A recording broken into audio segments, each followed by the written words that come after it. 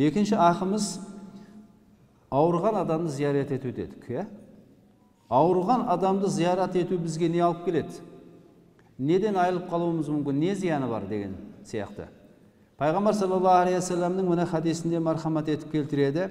Мә мин муслимин яуду муслиман ғудватан илля алейхи әлфа малакин Ve in adahu aşiyeten illa salla aleyhi seb'una elfe melekin hatta yusbiha. Ve kâne lehu harifun fil cenne. Бауырының халін сұрау үшін біреу ерте азанда немесе күннің басында таңертең зияратқа барса және бір кісі ауырып қалды сіз соны ауруды зиярат етейін деп барсаңыз жетпіс мың періште сізге салауат айтады екен алла осы пендеңді жарылқа алла осы пенденің күнәсін кеш.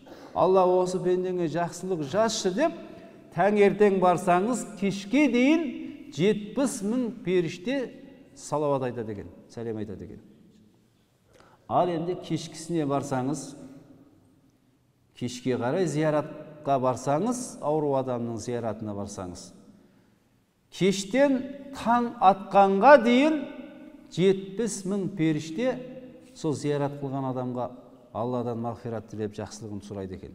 Аллахым мына періш мына адам зиярат қылды.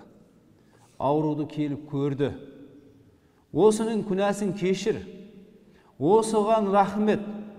Осыған жақсылығыңды сыйла деп қараңыз біреу емес екеу емес жетпіс мың періште сол зиярат қылған адамға алланың жақсылығын тілеп тұрады екен. Сол жақсылықты қаламаймыз ба? Әлбетте қалауымыз керек. Оны істеуіміз пайғамбардың сүннеті өте бір сауапты жақсылық болады. Сол үшін ауруды көру әдебі бар. Ауруды көрге, көруге барғанда өте ерте бармау керек. Немесе өте кеш бармау керек.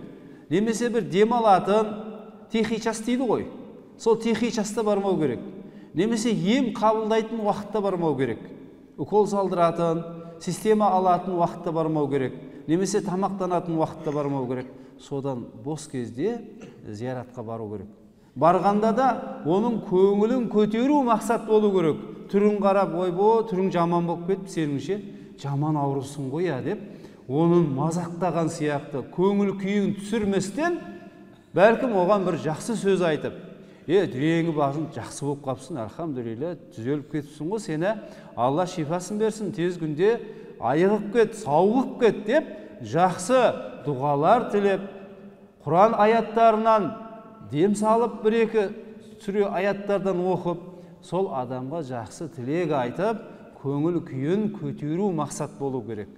Сонда иншалла міне шариғатымыз пайғамбар алейхисалам көрсеткендей үйреткендей зиярат болады екен жамағат.